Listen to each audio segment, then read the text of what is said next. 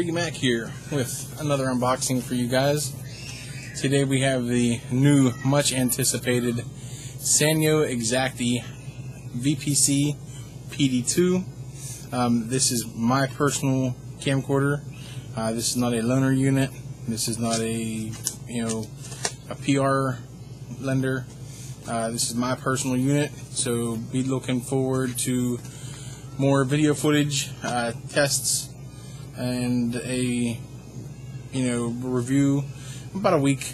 I want to use this thing every day, and uh, you know give you guys some some feedback on the camera itself.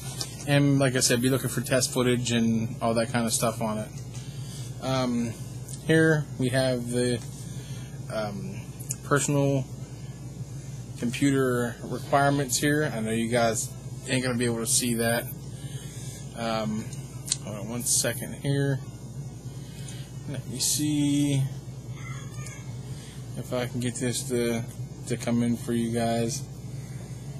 Okay, uh, yeah, there we go. Um, Windows Vista, Windows 7, Windows XP, standard USB port. Um, the simple uploader is Windows 7, Vista, and XP and video playback is Mac OS X 10. Um, from what I understand, this you can plug it into your Mac, and and I've tested it out already to make sure everything worked correctly. Um, you can plug this in and mount it as a card reader and pull your videos and stuff right off of it, and you can use it right into iMovie. Um, if there's software built onto this camera, it did not load when I plugged it into the Mac. It will probably load uh, when I plug it in with the PC. Um, the CPU is 2.0 gigahertz or faster. Uh, Mac OS X is Core 2 Duo or faster.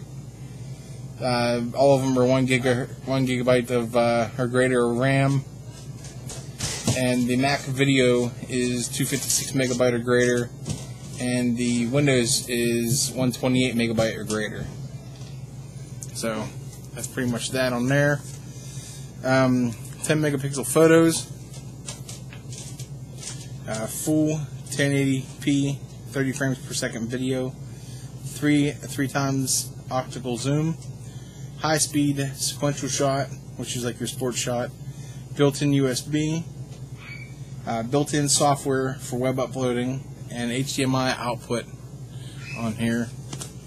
Uh, here it shows you SDXC compatible and it is SDHC compatible. It has an HDMI port on it, uh, Windows 7 compatible, and the accessories you get in the box are a USB cable and a lithium ion battery pack, um, which is a pretty small battery. Um, we'll get more into that here in a second.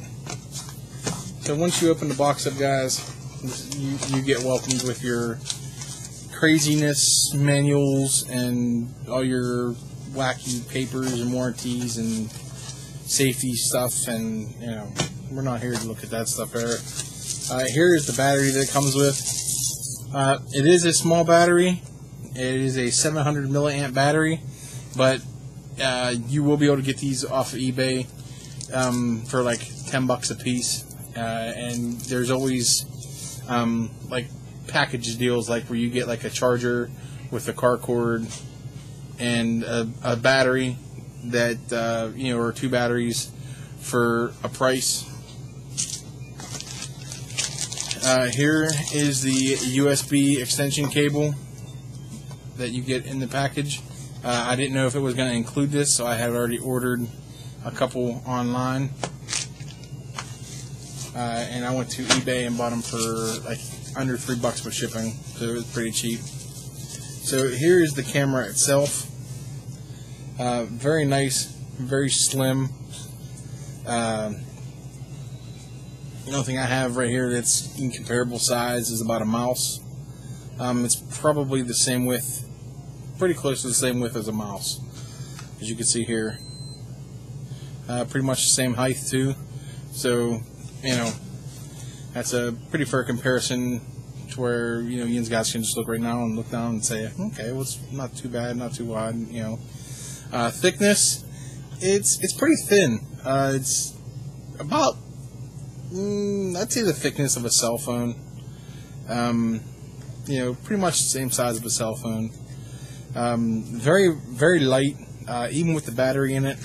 Uh, it is light, so even if you did end up buying a like a lanyard strap to hang around your neck, or just tossing this in your pocket or your shirt pocket, it's going to be very comfortable for you guys.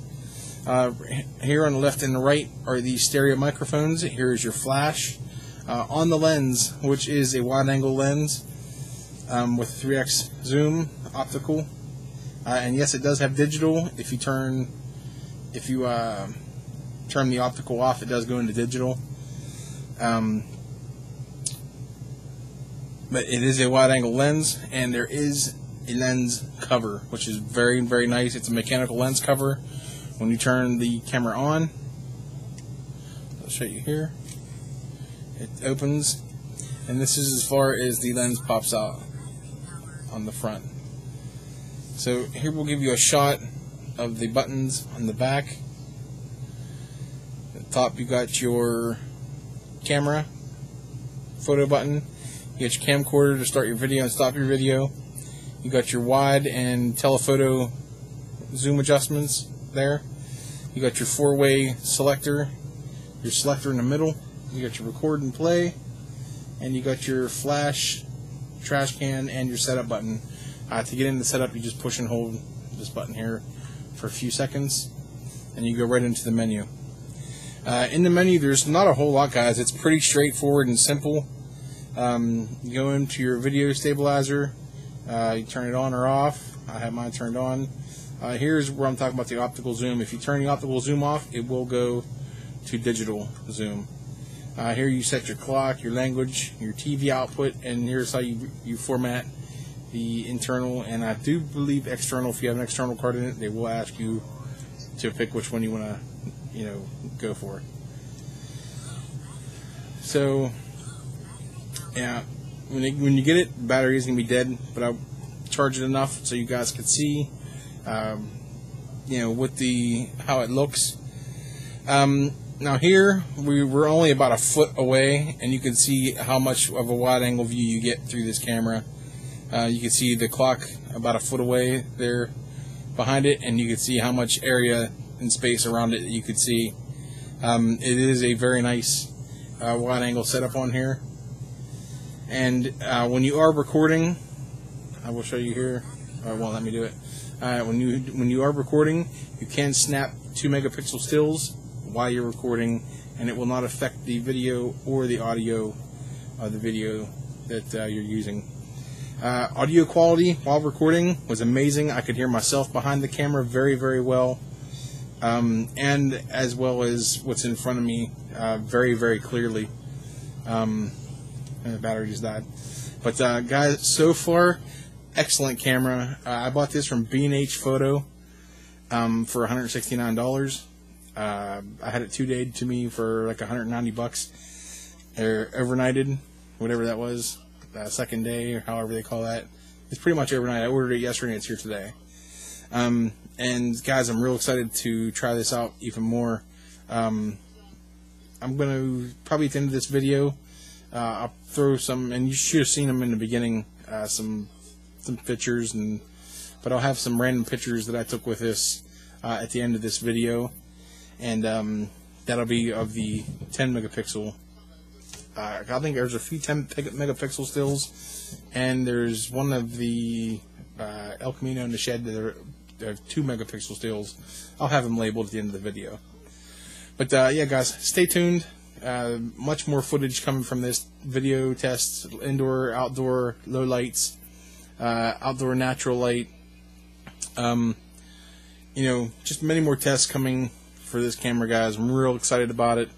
Um, as of right now, from what I've seen for playing around with this thing for about a half hour, I would not hesitate to order this up, guys. Uh, it's very, very nice. It is very light, and it almost it feels like a point and shoot, like build like a point and shoot. It doesn't feel like real cheap feeling. The plastic is really thick. Uh, it, it's really well built. This inside here directional pad is very sensitive. So when you are selecting stuff, you don't have to beat on the buttons. Okay. So that's it, guys. I'm out of here. Um, like I said, stay tuned. We'll be getting some test footage and you know some other video up for this. And that's it for me, guys. This is Mr. Biggie Mac saying I'll see you guys on YouTube. Have a good one.